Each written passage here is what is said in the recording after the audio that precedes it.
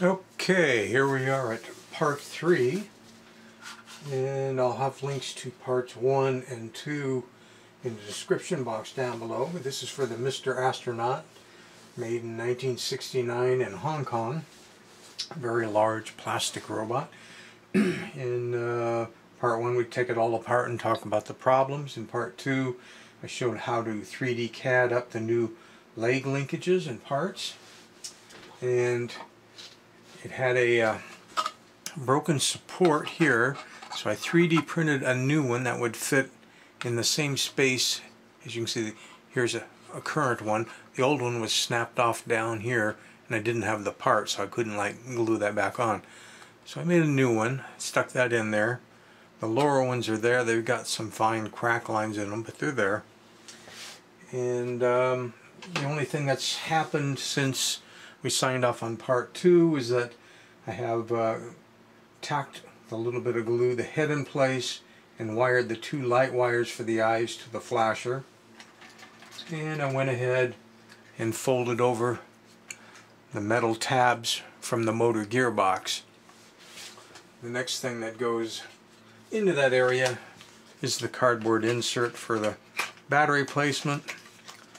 In this particular toy, if you happen to put the batteries in backwards, it would still walk and the arms would still move and the eyes would flash, but you wouldn't get any clicking. Um, I also,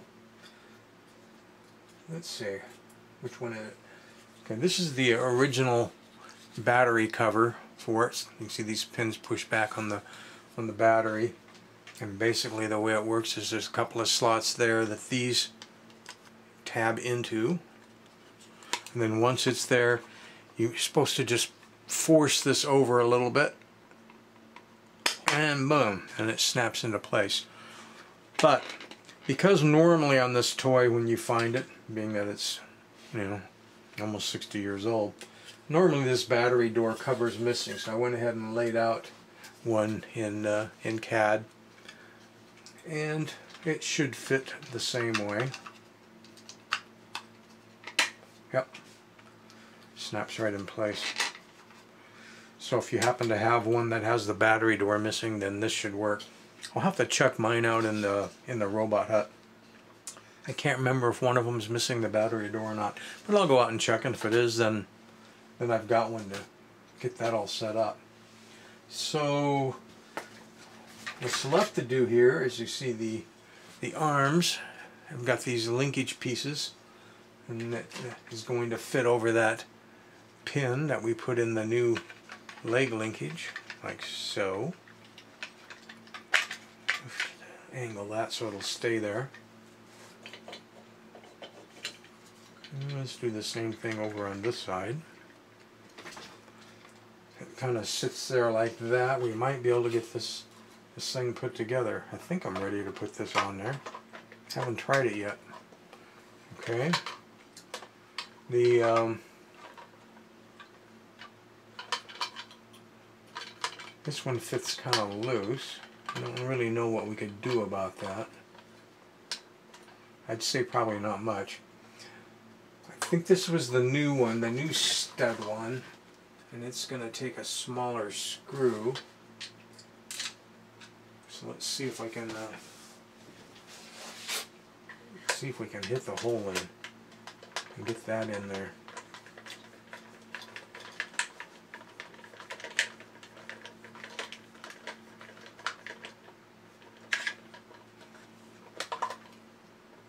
Okay, I think it went. And the other two, well, the other three, they take a common screwdriver. And I don't think all of them are the original screws. I think these two that I'm putting in the bottom are probably the original screws because they're the same. And the third one up above appears to be different.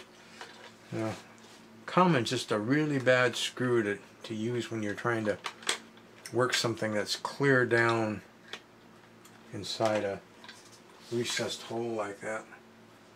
It's almost impossible to hit it.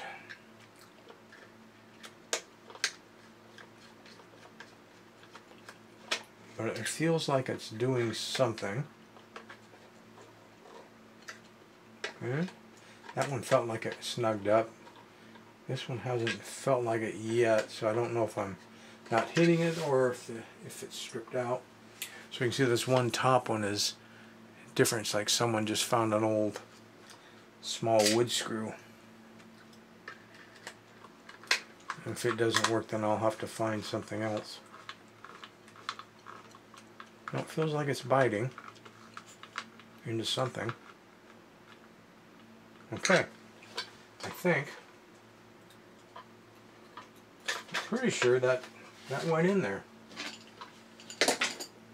Now, I also went and uh, re-chromed all these parts, the neck, the arm, the leg, and around the, the knees and on the arms because they were in pretty bad shape. When they get scuffed off, what's underneath is black plastic, so then you see uh, a dark black area.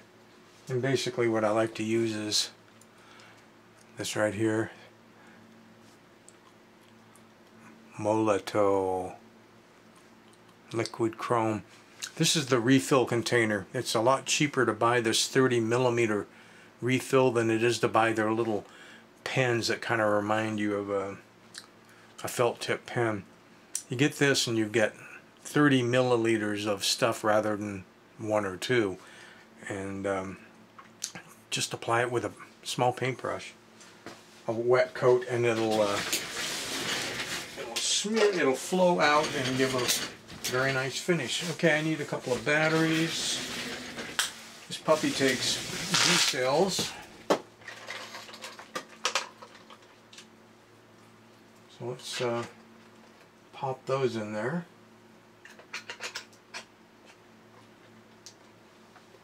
And let's get the cover. There we go. All right. It's showtime. I believe it's going to be a fast walker. And it is.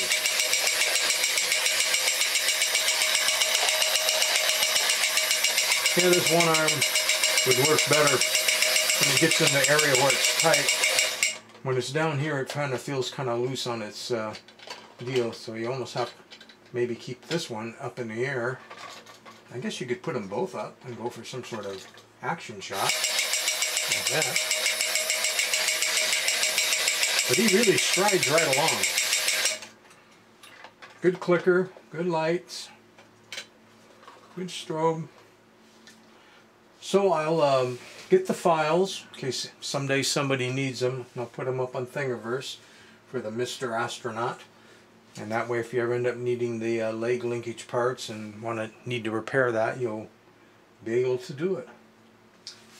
I think that concludes our rebuild of the Mr. Astronaut.